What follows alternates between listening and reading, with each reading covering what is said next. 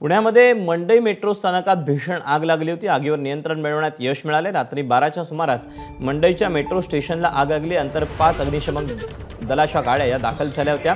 त्यानंतर आता आगीवर नियंत्रण मिळवण्यात आले. सव्वीस सप्टेंबर रोजी या मेट्रो स्थानकाचं उद्घाटन पंतप्रधान नरेंद्र मोदी यांच्या हस्ते पार पडलं.